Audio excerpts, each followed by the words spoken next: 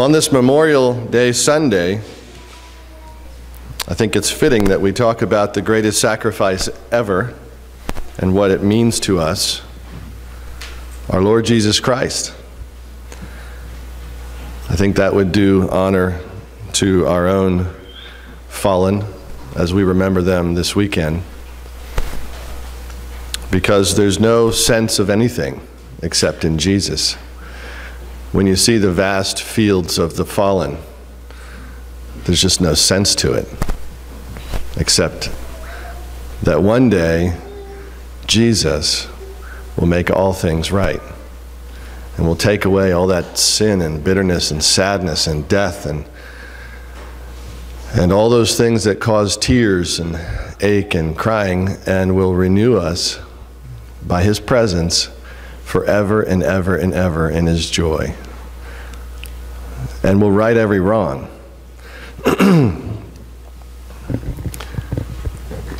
I'm not one to uh, quote people about Lincoln, President Lincoln. But it is said in one of the books by a pastor that he stated with his own lips. Now, this is obviously hearsay because the pastor said he reported this to the pastor. So it's some historians may issue. But it is said that he declared with his own lips that he was not a Christian. He was not a Christian. I'll say it again. President Lincoln declared with his own lips he was not a Christian until, even after he buried his son Will. He said, I was not a Christian even when I buried my son Will until I walked the fields of Gettysburg. And according to this pastor, he said to the pastor, and that's when I became a Christian.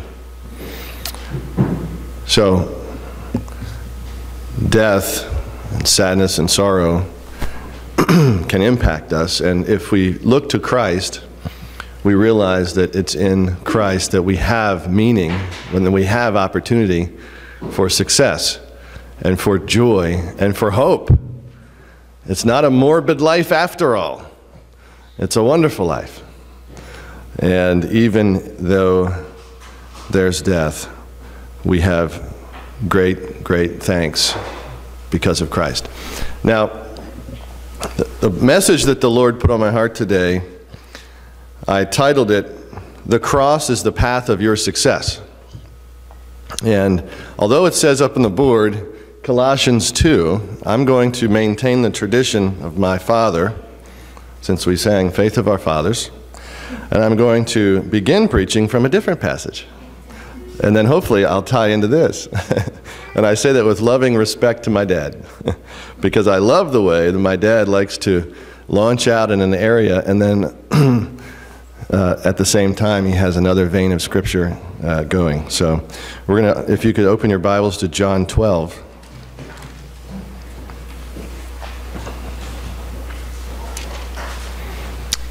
And hopefully we'll get to Colossians 2 as well.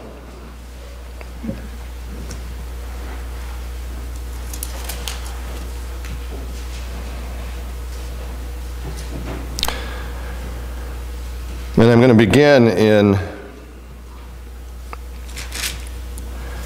verse 23. And just to give a backdrop to this, this passage is considered to be one of Jesus' final sermons. Okay? Now, obviously, everything Jesus said, it can be considered a sermon. I mean, his last words, it is finished. Uh, Father, forgive them, for they know not what they do. Those obviously have intense and deep meaning. We could spend hours and hours on those uh, words. But this is historically considered Jesus' final discourse or final sermon. Um, and it comes right on the heels of his triumphal entry in terms of chronology. So Jesus comes into Jerusalem as a king to celebrate Passover. But he's got a different thing on his mind. He knows what's coming the next week. And he gives this message John 12, 23. And Jesus answered them, saying, The hour is come that the Son of Man should be glorified. Now, keep in context, he just came in like a king, okay? So that connects to them immediately. Oh, yeah, yeah, okay. But notice he uses the phrase, the Son of Man. Now, watch that phrase as we read. Verily, verily, I say unto you, unless a corn of wheat falls to the ground and dies, it abideth alone. But if it dies, it bringeth forth much fruit. He that loves his life shall lose it, and he that hates his life in this world shall keep it to life eternal. If any man serve me, let him follow me, and where I am, there shall my servant also be. If any man serve me, him will my Father honor. Now is my soul troubled, and what shall I say? Father, save me from this hour. No, for this cause I came to this hour. Father, glorify your name. Then there came a voice from heaven saying, I have both glorified it and will glorify it again. And the people, therefore, that stood around and heard that said that it thundered. But others said, An angel had spoken to him. And Jesus answered and said, This voice did not come because of me, but it came for your sakes. Now is the judgment of this world. Now shall the prince of the world be cast out. And I, if I be lifted up from the earth, will draw all men unto me. And this he said, signifying what death he should die. And then the people answered him, We have heard out of the law that Christ abides forever. And how do you say that the Son of Man must be lifted up? Who is this Son of Man? And then Jesus said to them, Yet a little while is the light with you. Walk while you have the light, unless darkness come upon you. For he that walks in darkness does not know where he is going. While you have light, Believe in the light, that you may be the children of light. And these things spoke Jesus and left, and he hid himself from them. Now, interestingly, a few points quickly. If you note, he talks about at the beginning of the sermon, the Son of Man will be glorified. And then he talks about the Son of Man being lifted up as part of his glory in death. Now, the people did not all connect or think of him as the Son of Man. Maybe they started out that way. We don't know. The text doesn't actually say that they connected the fact that he came in like a king, and then he said, The Son of Man must be glorified, and they thought, okay, so this must be the Son of Man. But we know from the triumphal entry that he did hear people saying, Hosanna, blessed is he who comes in the name of the Lord. And they glorified him, and uh, they certainly, there were some that um, were offended by that because it clearly appeared like he was taking on God's glory. Blasphemy! He's taking on God's glory.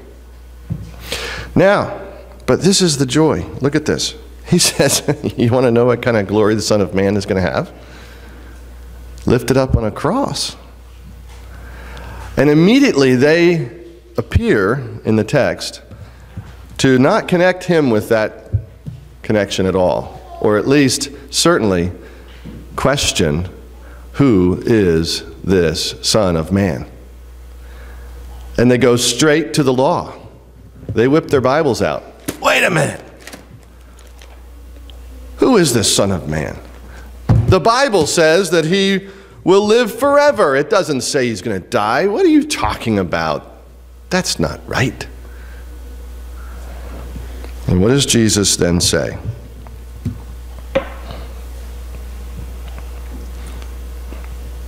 Doesn't directly answer their question, does he? Verse 35, he says, For a little while you will see the light. Excuse me. For a little while the light is with you. Hint. The Son of Man is right here in front of you. The light is with you a little while.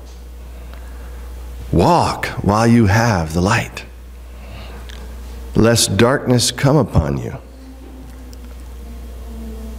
For he that walks in darkness does not know where he is going. While you have the light, believe in the light, that you may be the children of light.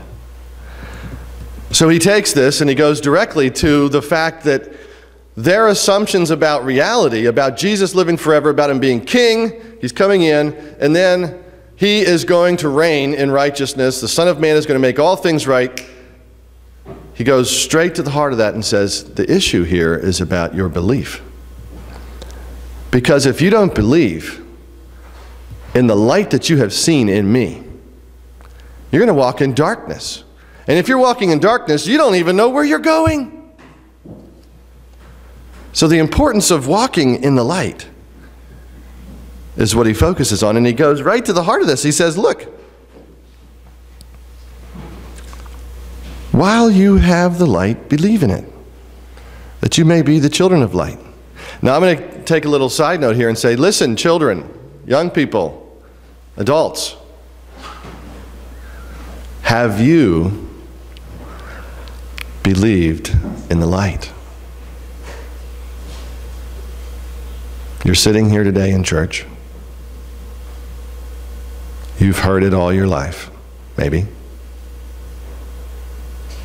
But have you actually come to not obey your parents in this regard as much as obey God in this regard? You see, you can sit there, children, young people, and you can look like you're believing because your parents tell you to sit there. But until you engage your heart in belief yourself, you're lost. You're going to hell. That's serious. So, the way to walk in light is to believe.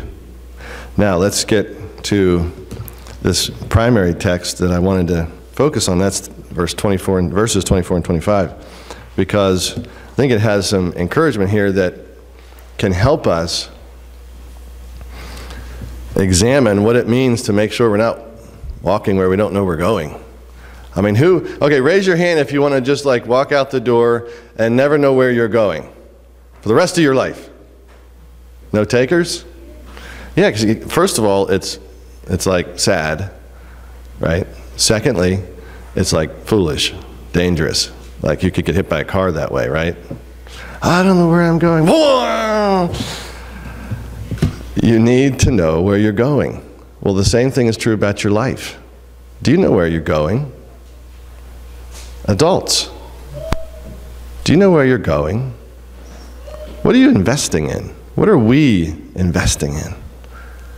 Every heartbeat is a ticking to eternity. What are we using it for? Well, look at this. This is what Jesus tells us.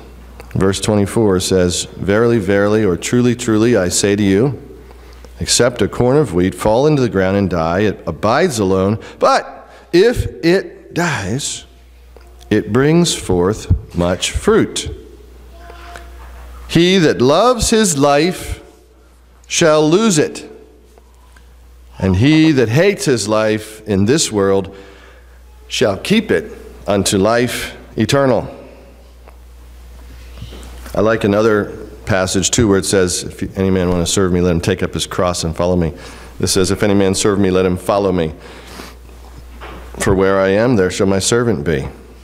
If any man serve me, him will my Father honor. Do you want the path of honor? Do you want the path of success? The path of honor and success is through dying to yourself.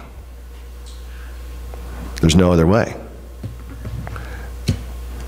I heard a preacher, uh, Alistair Begg, speak to a bunch of graduates at Grove City College a week or so ago. I forget what, but anyway, I, I heard the message because I get it on my little iPod or whatever. I don't have an iPod, whatever the, it's on my iPhone, the app. And he said when he was 17 years old, or 18 or 19, he had it all planned out. He was saved. He had been uh, strongly trained in the gospel. He was intellectually sound. He knew where he was going. He knew what he was going to do in life. He knew who he wanted to uh, marry, he thought at the time. He knew what career path he was going to choose. He had it all figured out. He said so he wrote up his little facsimile, signed it at the bottom, put a space for God, and faxed it to God. And said, Okay, God, I figured it out. Here's my plans. Will you kindly sign at the bottom and fax back? He said, God sent him a fax. And it said, Dear son, blank. Please sign at the bottom. And he said, God took his life, turned it upside down, and he said that the rest is history. He said, I never would have been a preacher if I hadn't surrendered. To this day, he's reaching thousands, if not millions, of people preaching. How many people get that opportunity? It's one of the fastest growing worldwide preachers out there. His apps, I have trouble listening to his sermons because so many people are trying to get into his, you know, his, ah, come on, get me a, I need to get 4G or something, I don't know. All because of surrender. You see, the path to life, the path to walking in light, is a path of surrender. Now, look at the words carefully here. Truly, truly, I say to you, or verily, verily, I say to you, depending on whether you have the old King James or not. What does that mean? Why would Jesus say truly twice? I mean, isn't his word sufficient? Doesn't he say, doesn't he just need to say, truly I say to you? Or how about this? Why does Jesus have to say truly at all? Isn't he truth teller? Isn't he a truth teller? Isn't he so strong in his truth that he can just say, I say to you? Kind of like a command, like a, like a military leader. Attention, I say to you. Listen up. But instead, he takes on this humble, loving form of beseeching and giving us evidence. That's what truly, truly is. It's similar to an affidavit. Whereas in a legal profession, you would, if you have to attest to what you're saying, the court puts you under oath, right? Because people talk and, and, and people can chat and people can sometimes say, well, yeah, that's the way it was, but they're not thinking seriously. And so the court says, raise your right hand and say, truly, truly. And then think about what you're saying and only tell the truth. Now we're to be truth tellers at all times in Christ. But here Jesus humbles himself to give us proof, to give us evidence of his love and of his truth telling. Wow, God didn't have to do that. God's so big and powerful, he doesn't have to humble himself to give us any proof, but he did right here. Truly, truly, I say to you, what is he promising us? What is the promise? Wow, looks pretty bad. Truly, truly, I say to you, if you, if you fall to the ground, you die. That's the first part, right? Unless you fall to the ground, you die. Doesn't sound like a very nice promise at first until you read on, right?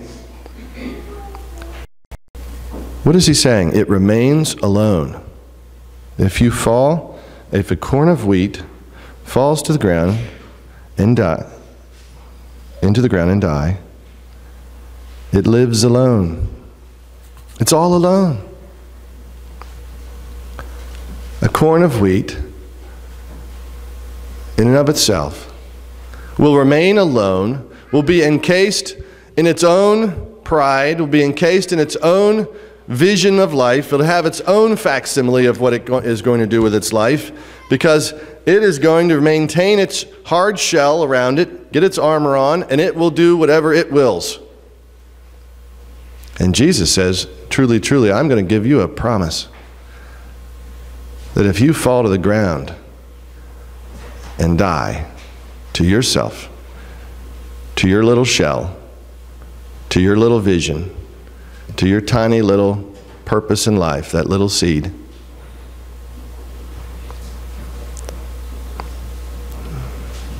you won't be alone if you do this, if you allow God to do this in you.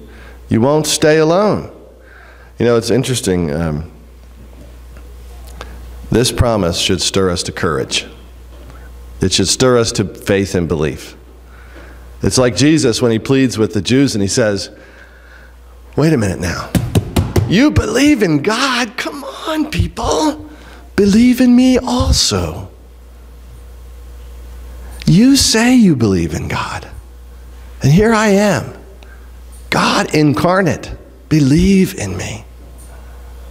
That's, that's either blasphemy or he is God. And we know he is God. And so he calls us here with such tenderness and he says, Fall to the ground and die so you won't be alone. You're going to be in your own little world, in your own little shell, in your own little vision, in your own little purpose, and you're going to go on through life with your little facsimile of your life, and you're going to be all alone. But if you come to me, and if you die to yourself, and you surrender all, then guess what? You're not going to be alone. You're not. God sets the lonely in families. It's an interesting promise. It's also, I like the fact that this verse is a but for test. That's another legal, logical phraseology. Because in tort law, for instance, you can't get there unless you have a but for. What that means is you cannot prove somebody committed a wrong of a tort, or what a tort means is, oh, ooh, ah, why'd you do that to me? Okay, bodily or physical or some kind of harm. You cannot prove a tort unless you have logic. That but for something somebody else did, then it wouldn't have happened to you. Well, look at this but for test. Look at this. It says, unless, it's kind of an except for test. Unless you fall to the ground, a corn of wheat falls to the ground and die, then it abides alone. But if it dies, it brings forth much fruit. So, first we have the promise, very clear, giving us courage, giving us hope, and setting us not to be alone, but with each other, and setting us in the love of Christ, never to be alone, because we have Jesus first. And He sets us with His people, because no Christian is an island. We are all to be part of the body of Christ. The reason why He sets us in families is to prove that He's with us and going to bring forth fruit. And the reason why He sets families in churches is to mutually build each other up so that as we bring forth fruit, the branches are, are wide and heavy and full of fruit. And the eating is wonderful. Now, what I love about this but if or but for test that Jesus used is it proves an interesting point. First, you have the affidavit of Jesus, so to speak. Verily, verily, truly, truly. Under oath is kind of how he's presenting this in a very humble form. And then he gives us logic, the logos. Do you know what the word John calls Jesus? The word John calls Jesus? Logos. He is the supreme logic. There is no logic apart from Jesus. If you think that in your humble mind you have any logic apart from Jesus, you've missed out on all truth. So we can come not only with Jesus' testimony, but he doesn't base his promise only on, I solemnly swear to you or affirm that this is true. Now take my word for it. Thank you. No, he doesn't. What does he say? He says, okay, I solemnly declare this to you, truly, truly. Take it as true. And by the way, I'm going to give you some logic because you need to understand that I'm not about destroying your life. I'm about making you full, making you whole, giving you a vision, giving you a future, giving you what I have planned for you. But it's not going to be on your facsimile, it's going to be on mine. So when you come to me and you die, you die to yourself. Guess what? I'm going to give you a life like you never could have imagined. I'm going to blow your mind. And it's all proven because I am the Logos. Proverbs 4:18 says the path of the just shines more and more until the full day. When you surrender your life to Christ, you're not surrendering to some um, ethereal, uh, uh, floating vision of, well, I am surrendered and I don't know what I'm doing with my life anymore. And I thought I knew what I was going to do, but now I have no idea. No, it's not what Jesus is saying. What Jesus is saying is, guess what? You can't even take a breath. You don't even have a heartbeat without me every day. How dare we think that we can then get up, strap our bootstraps on, and do what we want to do?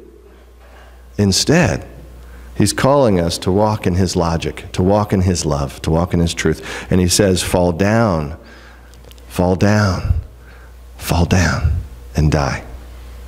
Fall before the throne of grace, and you will not be alone in life. You will be built up and flourish, and you will bear much fruit. We all have struggles, disappointments, lacking or incomplete in our, some of our work. Um, we have shortfalls.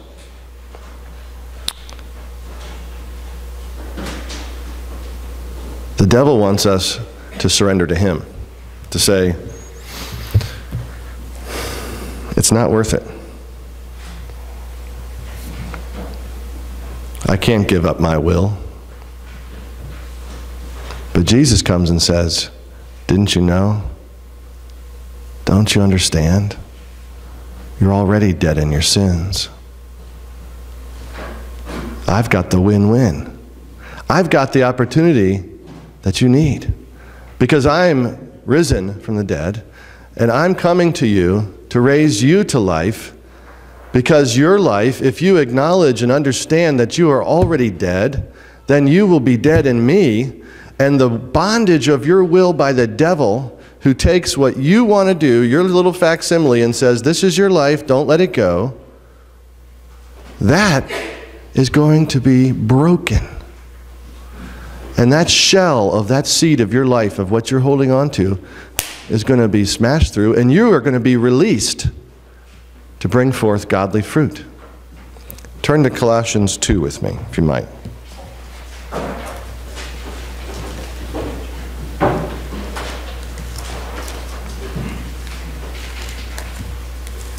Now, Colossians 1 is talking about the preeminence of Christ, the Logos, meaning that the reason Paul wrote Colossians, the, uh, the church at Colossae, is because he wanted them to fix themselves upon Jesus and not upon other, any other thing. There were certain Judaistic tendencies, there were certain pagan tendencies, and all these things were warring against the early church. And so Jesus comes in and says, No, no, no. Stop. Time out. look to Jesus. Paul calls us to look to Jesus Christ because it says in verse 16 of chapter 1, by the way, For by him were all things created that were in heaven and that are in earth, visible and invisible, whether thrones, dominions, principalities, powers, all things were created by him and for him. and, and he is before all things, and by him all things consist. Now, come to Colossians 2, we understand okay, well, wait a minute now. If by him all things exist, then who are we? We are called by God's people to be absolutely surrendered for that calling of being uh, totally in. Totally in with Christ. It says, um, all things were created by him and for him. So, it's one thing to, to acknowledge that, yeah, Jesus made me. Yeah, Jesus loves me. Yeah, Jesus died for my sins. I, I understand that. I believe it. Do you know that that's basically what the demons believe? Until you're all in, until you surrender every part, you haven't had faith. Because faith, the whole definition of faith, is belief plus trust. It's not just belief. Paul made that very clear. The demons tremble. They believe in God and they tremble, but they're still demons. But we, his people, are called to believe and to trust in faith. Now, I probably, forgive me if I've done this before, but there's a visual example of faith that you may have heard about. And it's involved in a chair. Has anybody heard this or seen, or did I do this before? Okay, there's a few of you. Now, look, let me, let me just watch. Okay, hold on to me one second. Hold on. This is a chair. Now, contrary to David Hume, who was a false philosopher of pagan literature, it actually exists, and it actually is a chair. Okay? So we can say, in the tangible, real world, this is a chair. Do you believe that's a chair? Is there anybody here, please, doesn't believe it's a chair? Play with me here. Okay, good, good. Now, now that we know we have rationality, meaning we are not, you know, a little bit off kilter here, we all understand it's a chair. We all believe it's a chair. Isn't it a wonderful chair? Yes. Isn't it a mighty chair? Maybe. Can probably hold some good weight. It's a it's a saving chair if you're tired. Provides rest for the weary. It gives you some relaxation and enjoyment, maybe. It's all nice and good. Y'all believe that, right? Sure, we believe that. But we've never used it, have we? still sitting there. See, until you come to Jesus and you die, yourself. And you trust Him entirely. You don't know truly the trust of Jesus.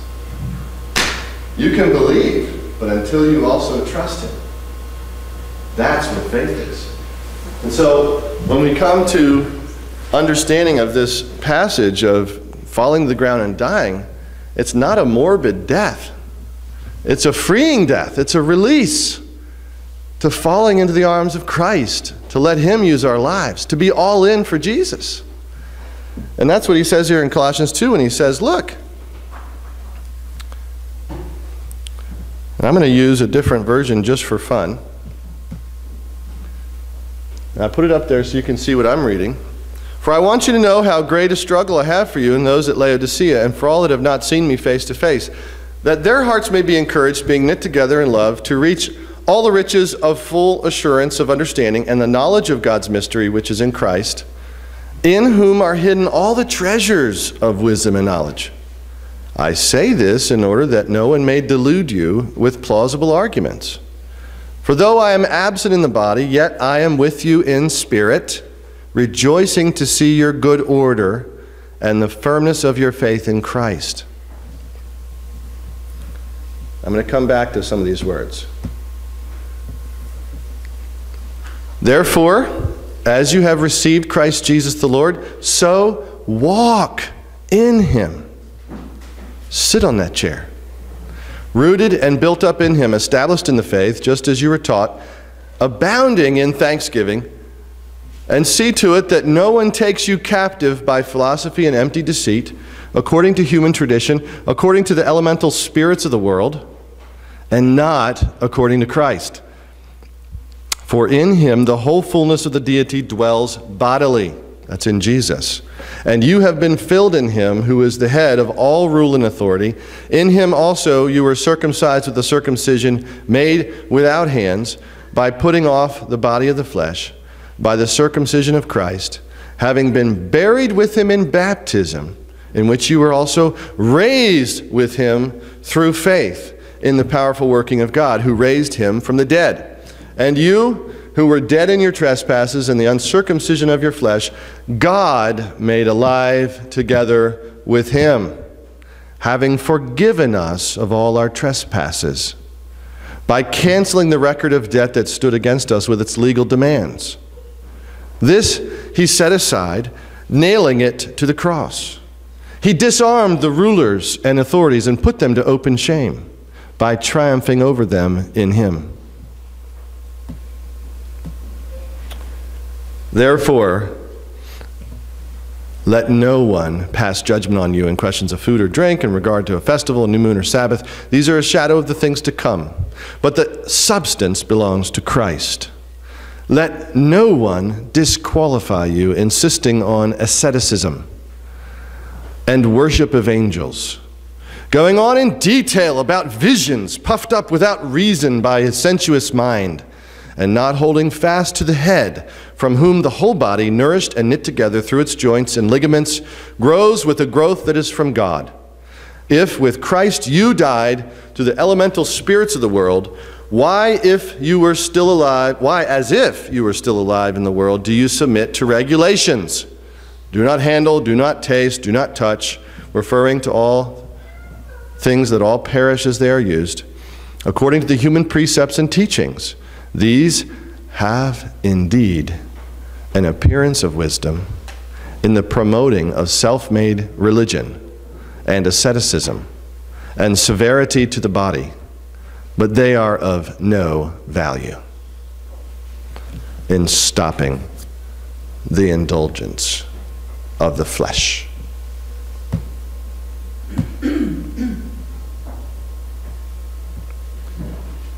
Now, I want to end with two things, a couple things here. There is no life for us and no power over sin unless we are all in, surrendered, fully trusting in Christ, putting all of it. In fact, there's an old hymn I love. It says, uh, half hearted, false hearted, true hearted, wholehearted. Okay, if you have one foot on the chair and one foot in the world, Hello? you're not. Yeah, that's a good one. Hello? if you got one foot in Christ and one foot in the world, you're not in Christ. You have to be all in. Now, but the answer is in Christ alone. It's not in your belaboring or in uh, these things that Colossians talks about. Now, the interesting thing, the thing I love about Colossians, and um, that's actually Colossians 2, verse 1. I don't know why it came up that way. But anyway, um, the thing that's wonderful is that what, what God does here in Colossians is in, in the first couple chapters, he sets down the doctrinal foundation um, called the indicatives. And then he goes to chapter 3, which are called the moral imperatives. In other words, he sets the foundation of our faith in Christ. And then he goes and tells us, therefore, don't walk in sin. Just like he said in, in, uh, in Colossians 2 to walk worthy. So he says very specifically to avoid these immoralities that he lists in Colossians 3. So the point that is made here is that when you die to Christ, you are going to be made alive in God and in all things empowered to serve Him. That's the foundation. That you cannot even get to avoiding sin and, and, and eschewing the flesh. You can't even get there until you're all into Christ. It's by Christ alone that we have freedom from sin. It's by Christ alone that we find our life. And so once that is understood, then we walk in Him. So day by day, we have power over sin as Christians because we get up and we come to Christ. Sometimes we're a little sleepy eyed, sometimes we're a little slow. That's needed to, at those times we need to remember watch out. Don't walk sleeping. Don't walk without Jesus. Okay, so then we come to this uh, instruction in chapter 2 of Colossians, which talks about these deep, rich, full assurances that he gives us treasures of wisdom and knowledge. Look, if you want your life, you know, there's a scripture that says there's nobody that has given up houses and lands, mothers, and fathers, parents, uh, wives, children for me that won't get them all back. Double. Okay, that's a paraphrase, but it says that will not receive double houses and lands in this world and the next. So the point that Jesus is saying is the path of true success is the path of the cross. The path of his work in us is when we are fully surrendered to him by his grace. Then we walk with him day by day and we have the power to be successful. Don't listen to these false, foolish people who lie and say that you can have success through your disciplines. Yeah? Guess what? So can anybody else who's not a Christian. But it's a fraud.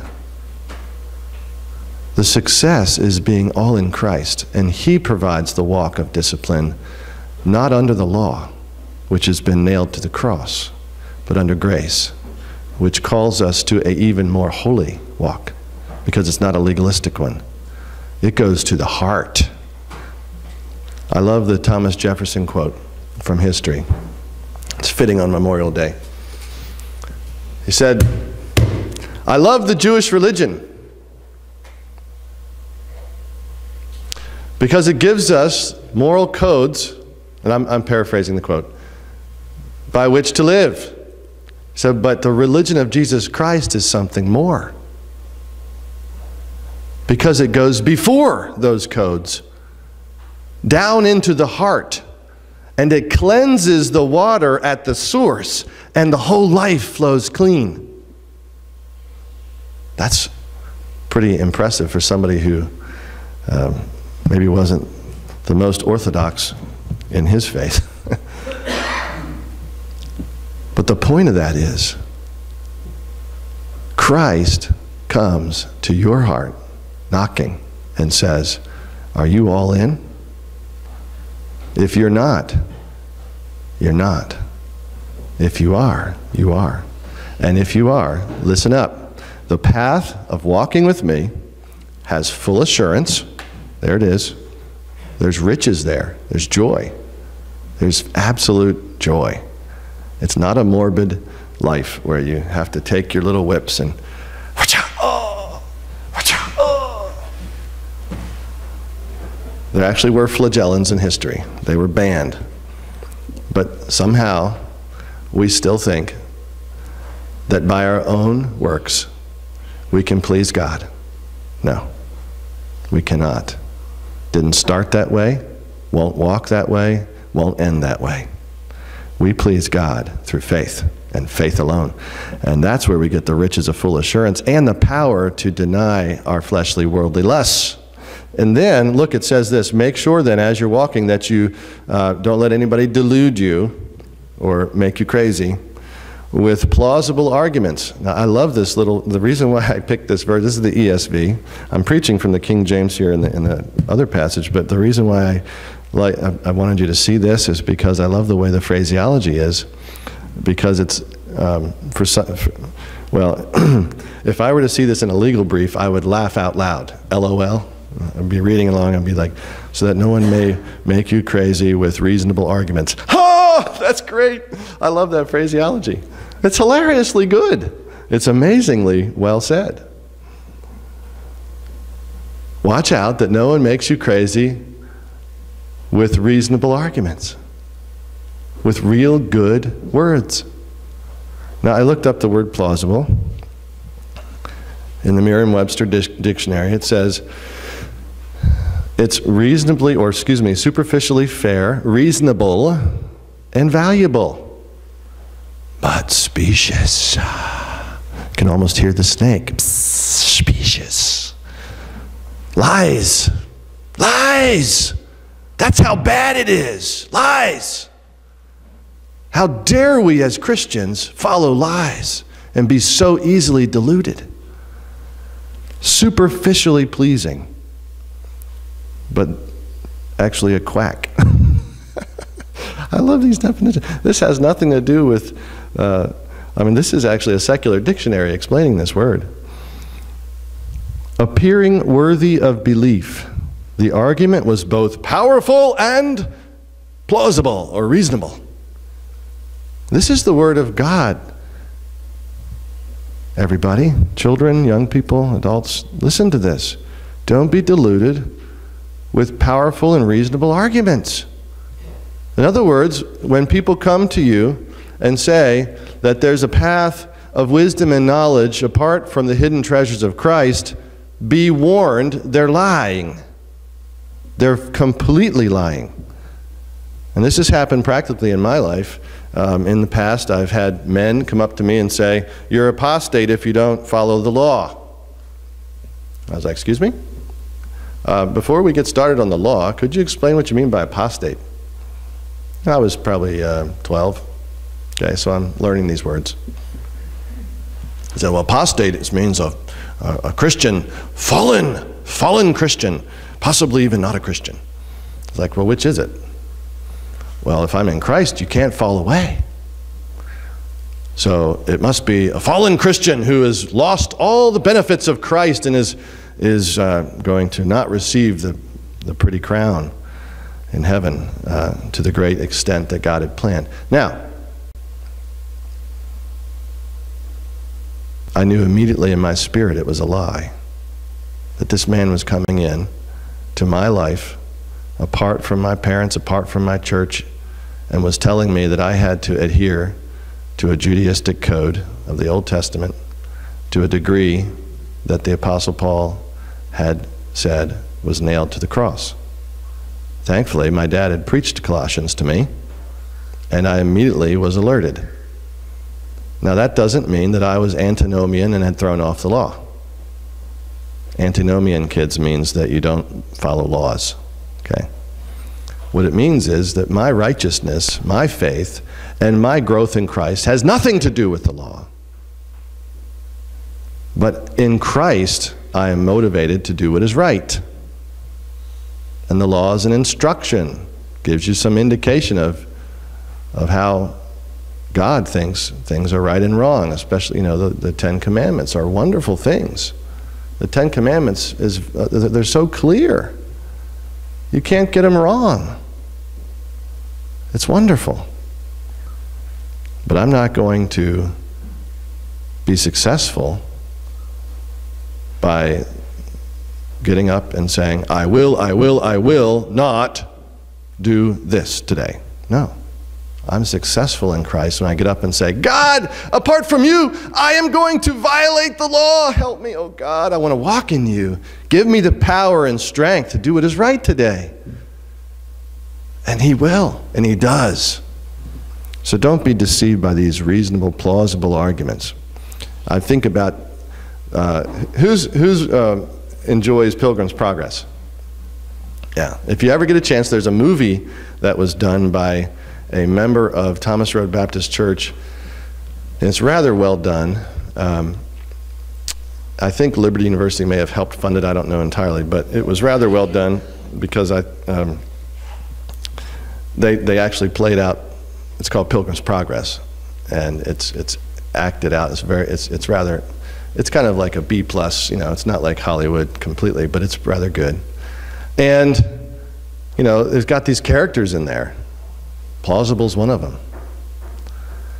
They come to you and they look the part, they speak the part, and they have very strong arguments to show you why they are the part, and you better listen up. But they're liars. So, watch out for that. Then, as we walk with Him, look what it says God makes us alive together with Him. God makes us alive together with Him. When we are raised from the dead by Christ, when you die, when you recognize the death that you have apart from Christ, and then you surrender your little seed, your life, He raises you with Him in the power of God. If you haven't, just as a little side note here, this passage is for the baptized. Do you see that? Verse 12. Well, it's for everybody. But listen up, those who are unbaptized. The scripture says that part of the example that we show forth is that we obey the call to baptism to show forth our connection with Jesus. It has nothing to do with salvation, it has everything to do with obedience to show forth the glory of God. And you see there it says that we are buried with him in baptism. Now, if you've been baptized before and you didn't realize that when you were making that public statement, you were, you were declaring, I am all in, and I want the church to know, I am all in. I am dead. I am buried with Christ in baptism. Then you might have a need to, to realize that's what God's calling us to. So when you think of your baptism, think of it that way. Wow, that's what it is. It was declaring, I'm all in. And then you're raised as you come up out of that water, just as Christ was raised. And we're made alive together in Him because we were already dead in our sins. And then look, He sets aside the legal demands of that debt that we owe God. The law creates a debt. No one of you can pay. And Christ set it aside, nailing it to the cross. Hallelujah. And I love that when he, he, he does a military roundup. He disarms rulers, authorities, puts them to open shame, and triumphs over them. And then listen to this let no one disqualify you with asceticism. This is the final point here. What is asceticism? In the scripture, it says to die. Now, let me tell you something that's a problem in the church. The church, and some of them are flat out blatant about this, say that in order to show your wisdom in Christ and your obedience to Scripture and your walk with God, that you have to have outward signs such as XYZ, whatever they may be. I remember uh, my dad was invited one time to speak at a Mennonite conference, and it was a wonderful experience because I'd never been among them. And so we went up there, and they were lovely people, and there were some even some Amish in the back. And I was just having a gay old time. I was just enjoying myself, meeting some young men that were really nice. We were running through the woods, and then we sit in there for the sessions because my dad was going to, to speak on homeschooling, and they wanted to hear about this homeschooling.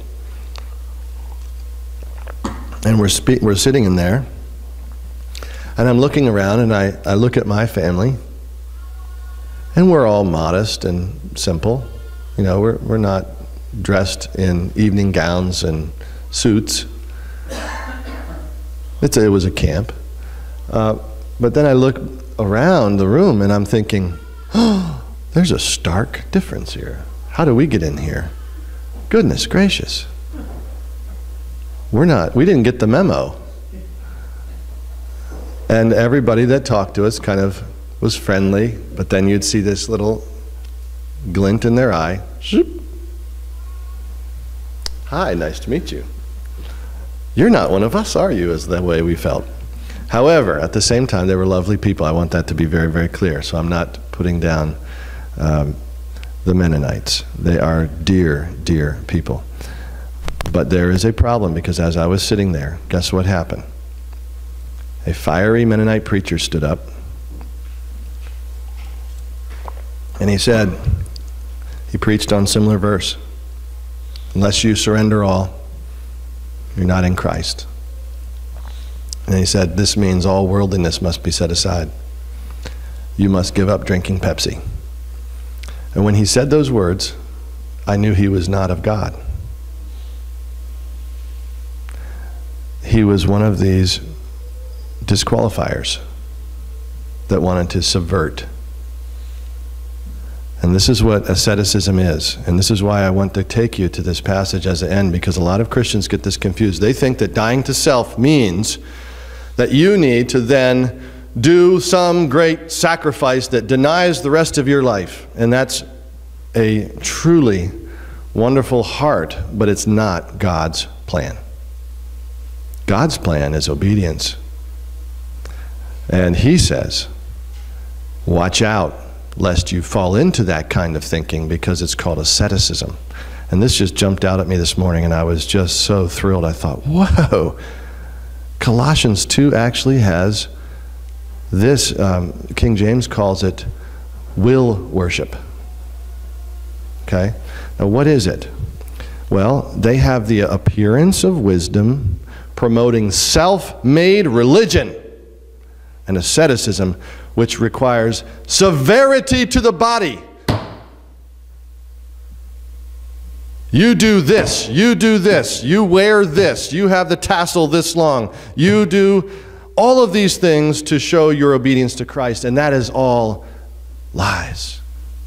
Has nothing to do with the gospel of Jesus Christ. It has everything to do with Satan's attempt to subvert the gospel inside the church. And here's what we need to be aware of. What is asceticism? Here's the dictionary def. Ascetic means relating to or having a strict and simple way of living that avoids physical pleasure. Practicing strict self denial as a measure of personal and especially spiritual disciplines. Austere in appearance, manner, or attitude. And the Bible declares and Christ declares that these are appearances, but they have no value in stopping your sin. No value. Completely powerless.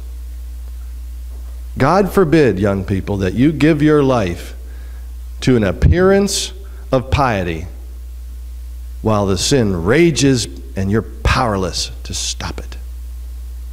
God forbid. And this is very important. It's very important. Because if you are all in, this is what it's talking about. You're not all in if you're all on you.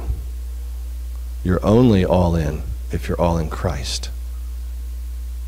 And so I, I don't want to be too severe in a warning of uh, somberness because this is a joy. This is our freedom. This is our release. It's not a ticket to licentiousness, no way. The Mennonites like to preach that, and I'm being flat out honest. They would, Mennonite brethren would come up here and would tell you that what I'm saying is licentious. And it's important, though, that we get back to Christ, that we focus on the scripture, and that we instead embrace the cross of Jesus Christ, which is our success. Jesus Christ says this Truly, truly, it's a promise, logically given to you. Unless you fall to the ground and die, you will be alone. But if you die, you will bear much fruit. You will be filled this life and in the life to come. So let's pray. Father, thank you for your word. Lord God, I pray that the power of your word would enter into the hearts and minds and guard our hearts and minds in Christ. And Lord God, that you would, by your sovereign love and grace, that you would establish us in faith. And that, Father, that we would obey you with a whole and true heart. And that we would be walking with you in truth by the power of the gospel and not in asceticism or in will worship, thinking that we somehow can make ourselves pleasing to you because we can't. We recognize that that is what surrender is. Until we surrender our desire and will, thinking that we can somehow please you, that we can't begin to do that. But when we surrender to you, you will take our lives, you will fax us back after we sign the blank page a life filled to overflowing with abundant fruit, and we will never, ever, ever be alone. Thank you, Jesus. In Christ's name we pray. Amen.